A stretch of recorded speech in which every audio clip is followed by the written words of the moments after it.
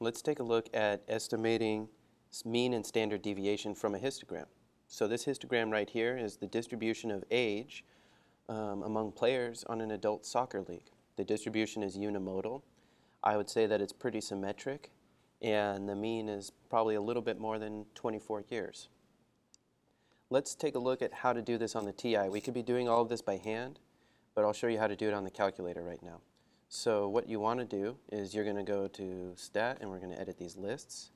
Now in this first list, L1 right here, I'm going to put um, a number for each one of these bins. So I'm going to choose a number that represents this bin. So this bin is counting all of the players between the ages of 18 and 20.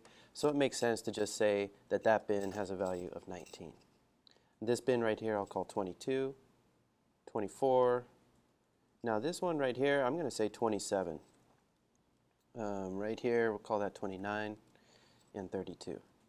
Now over in L2, I want to enter the frequency, okay? So like all histograms, the, the vertical axis right here is telling me how many people fall into this bin, how many counts we've got right here. So I'm going to enter the counts or the frequency for each value here. So in the first bin there are two players, then there are three. Here we've got nine, five, three, and one. So essentially what we're looking at in the TI right here is a frequency table. Now if we go to calculate one variable stats, the TI knows exactly what to do with this. So I do stat, calc one var stats, but now I'm going to come down and tell it that the freq list or the frequency list is stored in L2. That's where we put it. Okay?